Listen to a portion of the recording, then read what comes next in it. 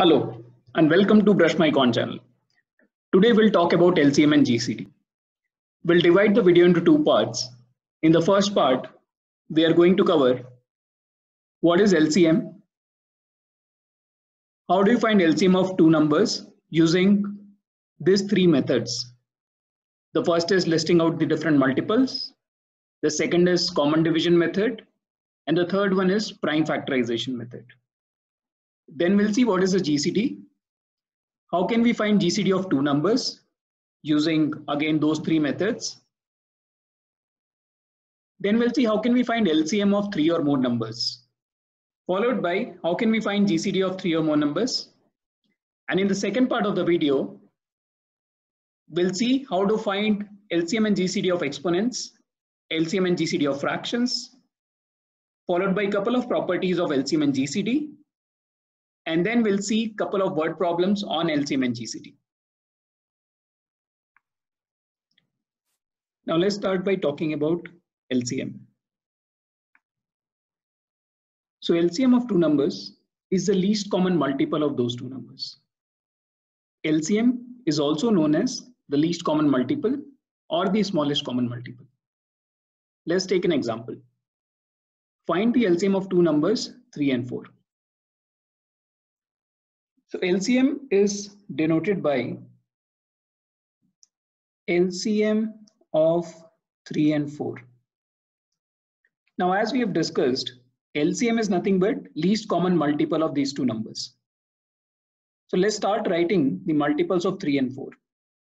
So multiples of 3 are 3, 6, 9, 12, 15, and so on. Multiples of 4 are 4, 8, 12, 16, 20, and so on. So as we know, LCM is the least common multiple of these two numbers. So if I start scanning the multiples, I will see that 12 is the first multiple which is common in both of them. And that is nothing but the least common multiple of 3 and 4. So LCM of 3 and 4 becomes 12. Now let's talk about the different methods we can use to find LCM of two numbers. So the first method is called as listing out multiples method. We have already seen an example of that. Let's use that learning for this example. So we have to find LCM of two numbers 12 and 16. So let's start writing the multiples of 12 first. So, so the multiples are 12, 24, 36, 48, 60, 72, and so on. Multiples of 16 are 16, 32, 48, 64, and so on. So if you scan through the numbers, the first common multiple is nothing but 48. So LCM of 12 and 16 becomes 48.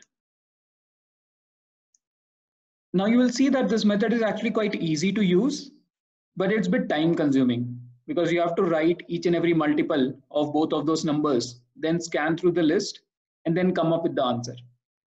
So let's look at other methods which we can use to find LCM. Now the second method is called as common division method. So the two numbers given to you are 12 and 16. So let's write both the numbers next to each other. And we'll start dividing those numbers by their common divisor. So in this case, I can do it with 2 also, and I can very well do it with 4 also. Let me do it with 2 first.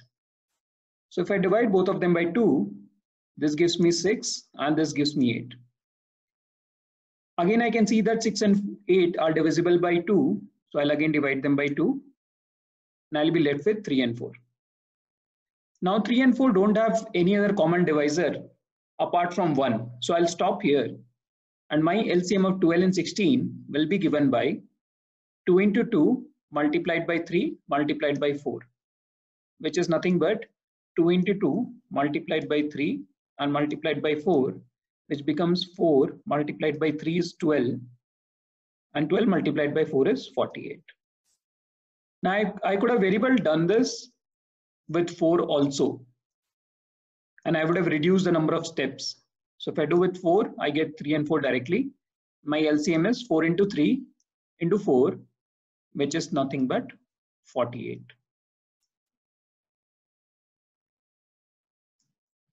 Now there is one more method of doing this, and that method is called as the prime factorization method.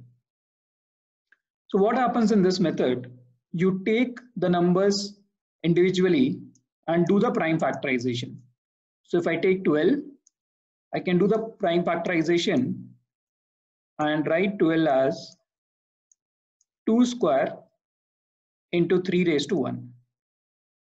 If I do the same thing for 16, I can write this as if I divide by 2 I get 8 again by 2 I get 4 again by 2 I get 2 so I can write 16 as 2 raised to 4 now to find the LCM first of all we write the the prime numbers which are common in both of them and also the prime numbers which are not common so I'll write 2 and I'll write 3 also I will raise 2 to the highest power in both of them. So in case of 2, I see the highest power is 4 and for 3 the highest power is 1.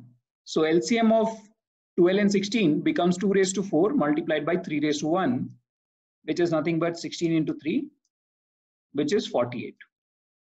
Now out of all these three methods, the second method is actually the best one and the fastest one because you have to compute lesser number of things in the second method. So the most recommended method is the common division method. Now let's go ahead and talk about GCD. So GCD of two numbers is the greatest common divisor of those two numbers. GCD is also known as greatest common factor or highest common factor. Let's take an example. Find the GCD of two numbers 4 and 6. So GCD is written as GCD of 4 and 6. Now let's start writing the factors or the divisors of 4 and 6. So let's start with 4. So divisors of 4 are 1, 2 and 4. And for 6, they are 1, 2, 3 and 6. So if I look at the divisors, the common divisors are both 1 and 2. But GCD is the greatest common divisor. So GCD of 4 and 6 becomes 2. Now let's talk about the different methods which we can use to find GCD of two numbers. So the first method is listing out multiples method. An example of that we have already seen. So let's go ahead and apply that knowledge in this problem. So I have to find GCD of 12 and 16. I will start writing the factors of 12. So they are 1, 2, 3, 4, 6 and 12 and factors of 16 which are 1 2 4 8 and 16 if i look at the common factors 1 2 and 4 are the common factors but 4 is the greatest so gcd of 12 and 16 becomes 4 now let's talk about the second method because this is a bit lengthy because you have to list down all the different factors of 12 and 16 so the second method is called as common division method. This is very similar to what we have done in case of LCM. So let's do the same thing here. I will write 12 and 16 next to each other and divide them by their common divisor. So I can do it by 2 and I can also very well do it by 4. So if I do it by 2, I'll get 6 and 8. Again by 2, I'll get 3 and 4. Again, I'll stop when I have only one as the common factor between these two numbers. So my GCD is nothing but the product of only the common factors. So in this case, my GCD of 12 and 16 will be 2 into 2, which is nothing but 4. Let's talk about the third method, which is called as prime factorization method. So in this, as we have already calculated the prime factors of 12 and 16, so 12 can be written as 2 square into 3 raised to 1 and 16 can be written as 2 raised to 4. Now GCD of 12 and 16 can be found as we will take only that prime number which is common in both of them. So in this case, only 2 is common. And out of both of them, we'll take the least power of 2. So in this case, I have 2 raised to 2 and 2 raised to 4. So I'll take the least power of 2, which is 2 square. So GCD of 12 and 16 becomes 2 square, which is nothing but 4. Now, as in the case of LCM, the common division method is actually easier to calculate both LCM and GCD. But if they have already given you the numbers as product of powers of prime numbers, then the prime factorization method is actually an easier method to calculate LCM and GCD. Now we have seen how to calculate LCM and GCD of two numbers. What if you have more than two numbers? So let's take an example where we are trying to find LCM of three numbers. So if I have to find LCM of 8, 12 and 16, again you can use multiple methods. I'm going to use the common division method. So I'll write all the three numbers next to each other.